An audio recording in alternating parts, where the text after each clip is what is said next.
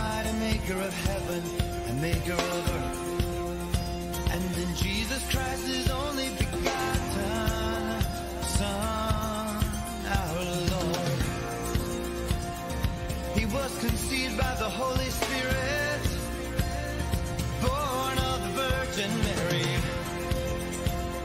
suffered under Pontius Pilate. He was